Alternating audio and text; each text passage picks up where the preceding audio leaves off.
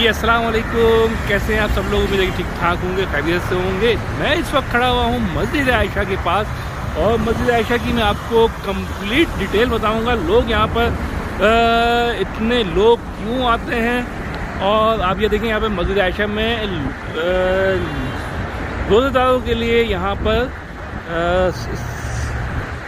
अफ्तारी का इंतज़ाम भी किया गया है लोगों की तरफ़ से। लोग बैठे हुए हैं यहाँ पे। अफ्तारी में अभी तकरीबन पौन घंटा बाकी है अभी। लेकिन लोगों ने अभी से अपनी अपनी जगहें घेर ली हैं। ये तो बहुत छोटा सा इंतज़ाम है बहुत छोटे से एरिए में। मस्जिद आयशा की असल वजह इस ये है कि जो लोग हदूद हरम के अंदर रहते हैं, देखिए मेरी बात को नोट रखिएगा जो लोग हदूद हरम के अंदर रहते हैं और जिनको उम्र करने आना होता है, उनको लाजमी मस्जिद आयशा आना पड़ेगा, क्योंकि मस्जिद आयशा हदूद हरम से बाहर है। इस वजह से उन लोगों को हदूद हरम से बाहर निकलना पड़ता है। मेरी बात को इस चीज़ को नोट ज़रूर कीजिएगा, जो लोग हदूद हरम में रहते हैं। ये हदूद हरम क्या है और कहाँ तक हदूद हरम है, इसकी मैं आपको कंप्लीट वीडियो बताऊँगा। क्योंकि मक्के में जो लोग रहते हैं और जो लोग यहाँ पर सऊदी अरब में रहते हैं, उनको सब आइडिया है कि हदूद हरम क्या है। और जो लोग उम्र पे आ रहे हैं उन लोगों को ही पता होना चाहिए हदूद हरम क्या चीज़ है और कहाँ तक हदूद हरम है और कहाँ तक ये रहती है हदूद हरम। तो इस वजह से मैं आप लोगों को इस चीज़ को क्लियर कर दे रहा हूँ कि जो लोग मक्के में रहते हैं या जो लोग उम्र वीज़े पे आए हैं, उम्र करने आते हैं और उनको दूसरा उम्र करने का दिल करता है, उम्र, दूसरा उम्र करने का करना चाहते हैं तो वो भी अहराम पहनने के लिए मस्जिद आयशा ज़रूर आएँगे। ये है मस्जिद आयशा। आप देखेंगे यहाँ पे कितना, कितनी रौनक लगी हुई है। मस्तारी का इंतज़ाम यहाँ पे किया जा रहा है। तो लाजमी उन लोगों को हदूद हरम से बाहर आना पड़ता है। आपको मैं दिखाऊँगा यहाँ पे हदूद हरम का बोर्ड भी लगा हुआ है।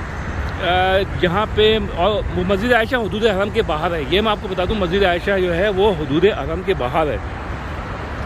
तो लाजमी उन्होंने उन्होंने उम्र करने के लिए हदूद हरम से बाहर जो है आना पड़े, पड़ेगा तभी उनका अहराम जो है माना जाएगा और वो उम्र कर सकेंगे।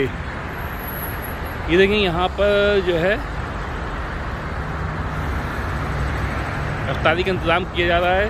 अभी हालाँकि काफ़ी टाइम है अफ्तारी में।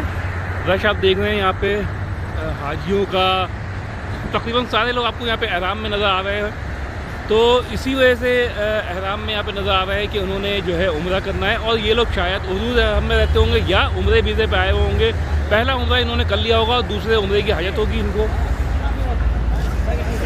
ये नहीं कितने अस्सलाम वालेकुम। मस्जिद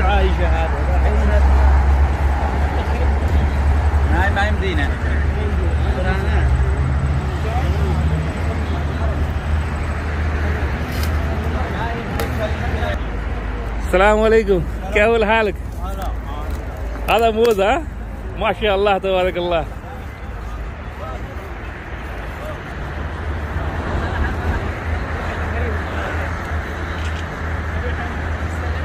तो चलते हैं अपनी वीडियो का एहतराम करते हैं जिन लोगों ने मेरा चैनल अभी तक सब्सक्राइब नहीं किया है तो प्लीज़ जल्दी से चैनल को सब्सक्राइब कर लीजिए और वीडियो को लाइक कीजिए और शेयर ज़रूर कीजिएगा देखिए मैं आपको दिखाता हूँ उन्होंने क्या क्या इसके अंदर रखा हुआ है ये खबूस है केला रखा हुआ है और इसके अंदर एक ये क्रोसो है टाइप का है, पराठे टाइप का है।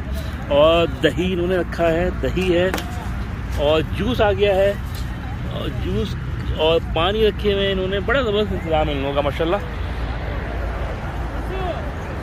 तो जिन लोगों ने मेरा चैनल अभी तक सब्सक्राइब नहीं किया है तो जल्दी से चैनल को सब्सक्राइब कर लीजिए और वीडियो को लाइक ज़रूर कीजिएगा। इजाज़त दीजिए, नेक्स्ट वीडियो में इन मुलाकात होती है। अल्लाह हाफिज़। अच्छा मैं आपको हदूद हरम का बताया था तो वीडियो मैंने एंड कर दी।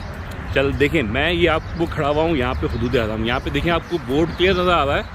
ये हदूद हरम की इंतहा ठीक है?